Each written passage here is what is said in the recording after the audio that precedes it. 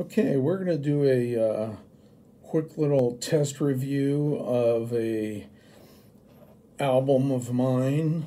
Um, we're going to go over the album Phoenix from Dan Fogelberg, um, released in 1979.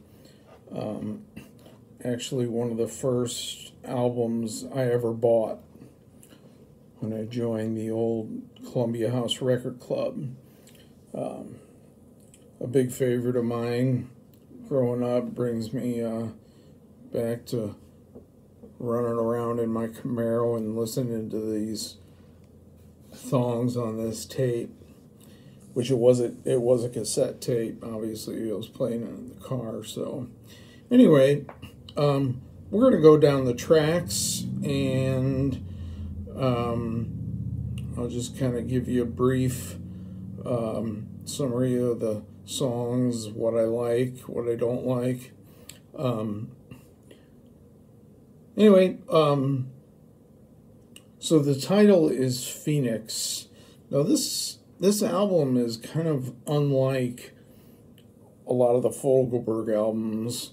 There's definitely some um, some pretty pretty good rocking songs on here, which he really wasn't known for. He had a couple here and there, but um,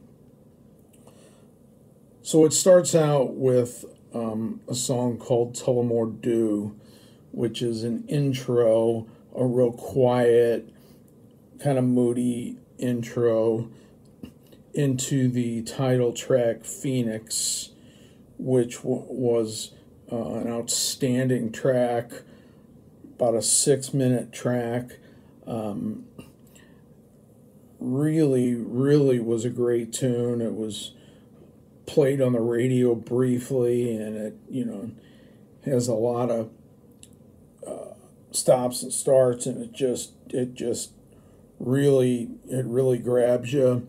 Um, a big, big favorite of mine. I've been listening to it since 79, so been listening a long, long time. Uh, love that track. Um, Gypsy Wind is the next song that's also a very good song. It's very mellow, it's very uh, Fogelberg like, uh, acoustic uh, song, uh, very nice tune. Um, as far as his uh, quieter songs, it's not really one of my favorites, but it's decent. It's listenable. Um, so we move on to the next one, The Last to Know. So I didn't really listen to that song as a kid. I would I would skip songs to get to ones that I knew and that I wanted to hear. So um, the last to know is actually um, it's also a softer song, but it's got a just a beautiful melody. Um, it's it's just a great great song. I really really love it. Um, it's it's just you know it's it's short. It's only like three three minutes, which I'm I'm not a big fan of short songs, but anyway, it's a beautiful song, uh, very easy, accessible. Um, I think he, you know females would like it because um, I know some of this is not really, I would say, for females in general. But anyway, that's just that's just an opinion. Um, the next song is a big favorite of mine. Um, I listened to it a ton in high school, and um, and going forward, I've listened to it for for years ever since. Um, is Face the Fire, uh, which um, again goes against a lot of the uh, Fogelberg uh, softer songs. This is definitely a hard rocking song.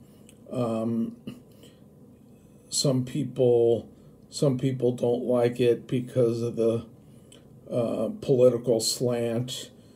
Um, talks about Three Mile Island and what was going on then. Um, I just love the song. I just think it's great. Um, again, a little bit longer song for for Fogelberg, but uh, excellent, um, excellent song. Brings back a lot of memories, and um, just just love it. Uh, the next song is "Wishing on the Moon." Um, that's another great underrated album cut that uh, maybe doesn't get a whole lot of notice, but uh, again, it's hard. It's harder rocking than the uh, what the probably the a lot of the Fogelberg fans want to hear, but I love it. Uh, Wishing on the Moon has got a great melody, uh, just great vocals. Um, just an outstanding, outstanding song. Um, and on the um, the first release of this on CD, the recording was terrible, and the uh, on especially you know I noticed it throughout, of course, but um, I really noticed it on Wishing on the Moon, and then I got a a new one which had a uh, remastered and it was much better quality. Uh, it just sounded so much better. So anyway, that's another one of my favorites. Uh, love that song. Um, the next song is uh, one of the one of the hits, the top forty hits from the album. There was two of them. Um, song is called Heart Hotels um, it's a nice song, um, very accessible uh, to the masses. Um, I'm not a big fan of it. It's okay. I, I don't I don't hate it, but it's it's just not my it's just not my thing. Um, some hits I love, some I don't. Uh, so Heart Hotels is one of those that eh, just not not a big fan of, but um,